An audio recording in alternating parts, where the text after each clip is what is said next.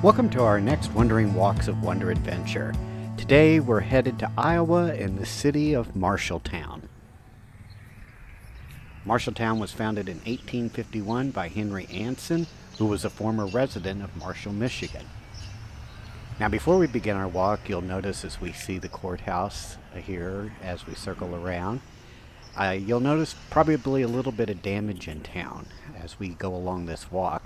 That's the result of, an, of a tornado, an EF3 tornado, a fairly large tornado that touched down in Marshalltown, Iowa on July 19th, 2018. It was part of a big outbreak of tornadoes that hit the Midwest, and Marshalltown was one of the strongest to hit in the city since 1966. You'll notice that this walk begins in front of the Marshalltown Courthouse, which was built uh, in 1886 and received extensive damage from that tornado, but is currently undergoing repairs. That tornado touched down late in the afternoon and tracked for about 10 miles through the city. Uh, it caused extensive damage and destroyed hundreds of homes and businesses, but as you can see, the repairs are continuing in town, and it still is a beautiful city to walk through.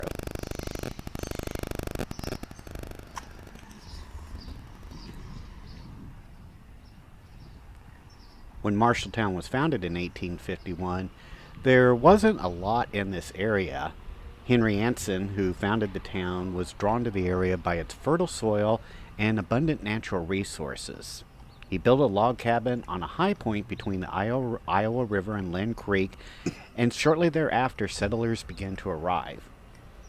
Now, the town was originally named Marshall, Iowa, but in 1862 it was renamed Marshalltown to avoid confusion with another town in Iowa that also had the name Marshall. The town grew rapidly in the years following the Civil War, and by 1860 it had a population of over 3,000. Now you can imagine here in this central, upper central part of Iowa that Marshalltown's economy was and continues today be based on agriculture with manufacturing and transportation. The city was a major center for the production of agricultural implements and was also home to a number of railroads.